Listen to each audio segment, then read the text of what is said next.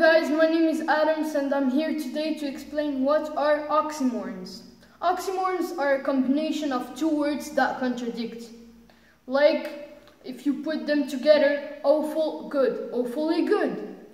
Freezes like act naturally, nothing much, liquid gas, fresh frozen, only choice. I need to breathe.